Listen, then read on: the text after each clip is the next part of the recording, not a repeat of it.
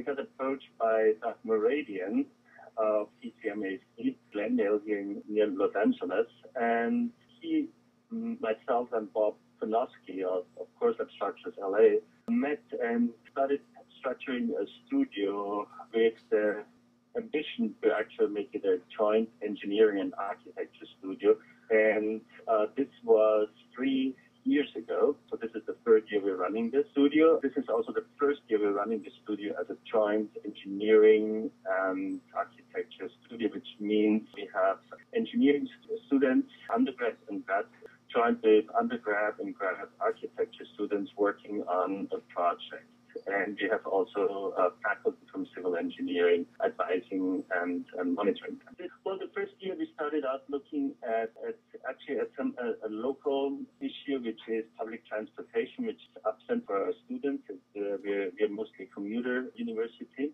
And the next year we followed up on a call of the president to demolish one of our iconic buildings on campus, and I took the opportunity again, like focusing on the on the issue of commuter college and environmentally sensitive uh, kind, that we have to provide student and faculty housing on campus. This year, we through the joint agenda, we uh, we focus also structures much more than we have previously. Uh, we decided we are looking at current events, realized that there is a niche for the Precast Concrete Society to look into tsunami evacuation facilities. The west coast of, of Southern California, Oregon, and Washington is technically an impact zone for tsunamis. We received actually extensive support in, in uh, information material and tours to facilities and workshops from, particularly from Coreslab Structures in LA, uh, but there have also been to Clark Pacific, which is one of their facilities in Fontana.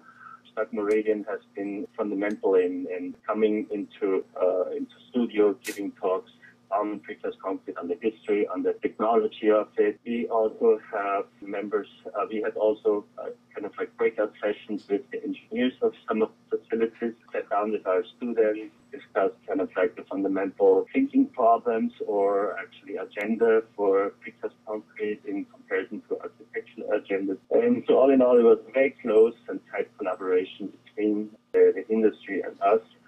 And of course, they also, I always initiated or allowed to have the industry also uh, input on the way we write our syllabi. Studio gained more and more traction over the last two years. And this year, I had to actually reject some students to take part in the studio.